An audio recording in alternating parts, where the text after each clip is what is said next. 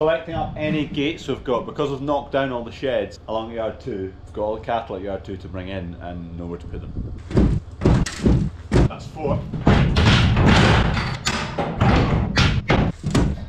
Five gates, zero pins. If you know, you know.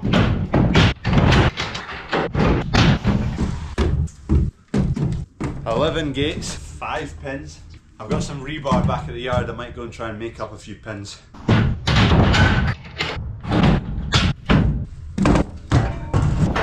Fourteen. Trailer's full now, though. I'm at yard two now. There's quite a few more up here, so I think we'll have enough. We'll have to have enough. Anyway, this trailer's full of the gates. I'm just going to dump it off just now. Probably get to cattle tomorrow morning, so we'll decide where we're putting all these gates. We've got an AdBlue tank here at yard two, but with no power, so we can't use it. So I'm going to shift this home, and that'll free up a bit more space in this bottom shed. So I'll chuck it on here with this empty IBC, take that home with me. It used to sit in the just in the doorway of that shed, but Kev's going to put the drill in there, so we need to get past, so it needs to come out anyway. Get the drill, it could do with being undercover, so definitely get that in there.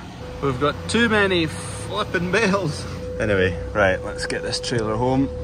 Run out of space, and this is before all the steel arrives from the shed, and the concrete panels, and the, the gates, and the cattle crush, and the troughs, and the... Ah, well, not, it's not an awful issue to have. I've got a boot full of empty chemical drums. Take them along, there's a potato box at home filled with chemical drums, so just build up a few potato boxes, then take them away to be recycled. There's a dug over my shoulder.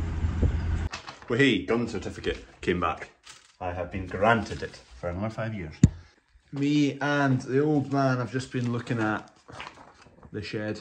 Steel's getting made at the moment. It's just a couple of wee finite details out with the shed and floor levels and whatnot to sort out. Water, because we've got this borehole, we need to plumb that in. The water that's going into the shed, I want valves below the floor level so that on frosty nights I can open it up and backwash anything that's in the pipes in the shed out of that so that doesn't freeze and then I can flush it in the morning, give it a blast, fill the troughs again, then backwash it again.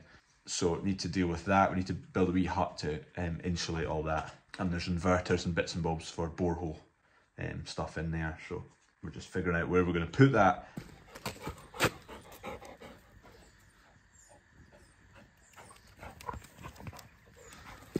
The space is vanishing quickly. It's quite flipping stressful all this jazz, isn't it? There's a lot to think about and you always think like flipping heck, what are we doing? Are we doing this wrong? Are we making a meal of it? Oh god. Just gotta keep going. Looks like we're having a farm roup. We're selling up all the machinery in the field.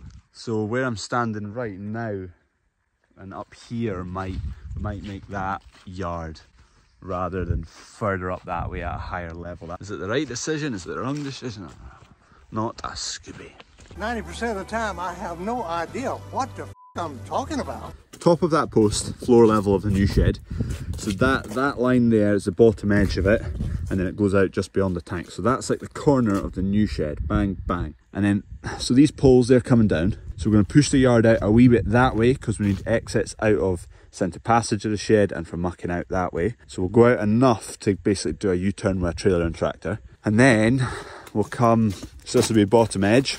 We've got that height of concrete panel, right? We want to build a hut in here that houses all the water and various bits and bobs, valves for water flow out of the shed. So we want to put our retaining panel down that way. We've already got a retaining panel that way to hold in the material that's under the shed that way if that makes sense, because that's floor level and I'm, I'm against the outside wall of the shed right now. I'm leaning against it. Water and stuff here. Floor level, ground levels where my hand is right now, up to there on the tank. So then we need to run a slope to get up to that level, because all the bales are going to be in there, so we need to run them up and then we make more of a yard for turning lorries, which is normally right there, but that's going to disappear. It's not going to disappear that much actually. Mineral lick buckets. Magnesium, there's a bit of garlic in here too, but there we go. Never had these before. Solid stuff. It's just, I think it's pretty much just molasses with loads of minerals. So they lick it away. Solid, it's like a, like a stone. Anyway, I've chucked one out here for the Highlanders and the rest are going to go along the road to the cows. There you go, beasts. Have a look at that. Oh, sniff, sniff. That smells sweet. Oh yeah, you beauty. Straight in. It's like the first wee lick of beer on a night out. Oh, you beauty.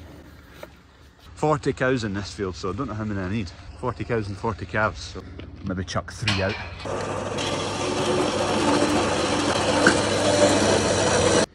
Needing new pins um, for gates we've got because we're really low on pins. So I've just cut a bit of rebar. Well, this is a piece that was this length already.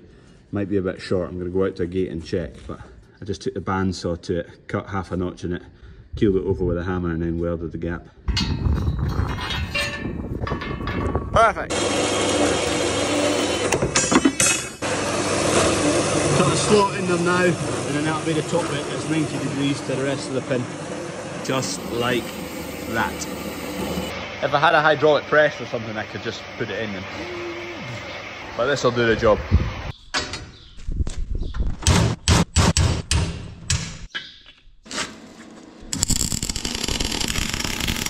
Right, there we go. One went absolutely mental, but it's fine. Need to show my true farmer welding. Can't be messing about with good welds all day. Just means I get to show off my grinder skills. And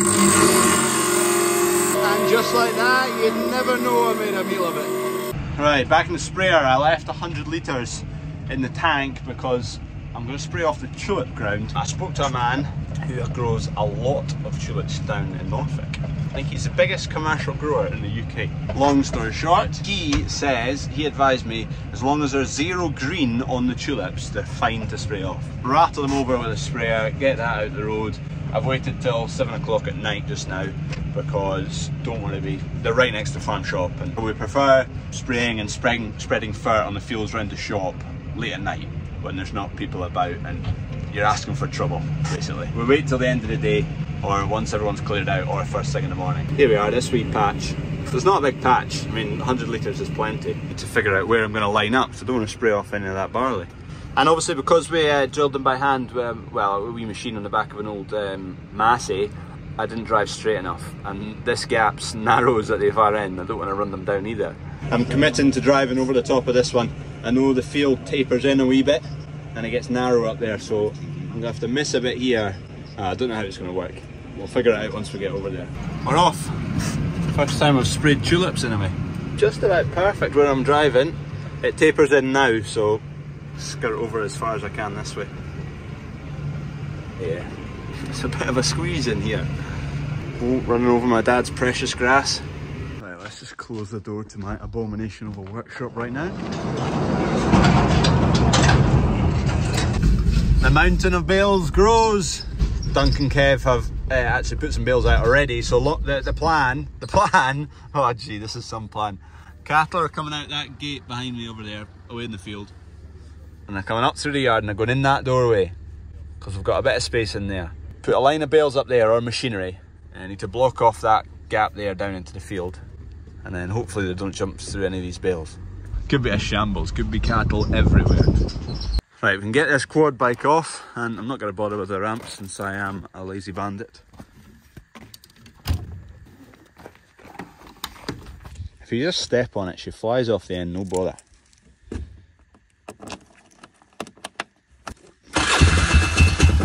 Hold on, one more thing.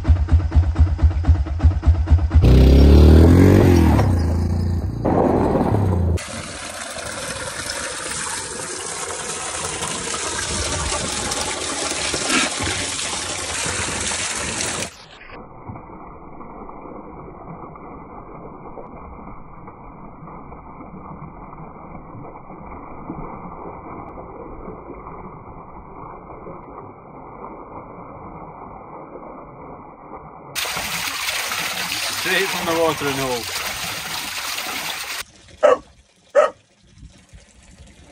Who do you think you are? Squaring up to a big calf like that? I don't think so. So, do you like the new yard? The makeshift yard for the cattle? Are they going to jump that? Hope not.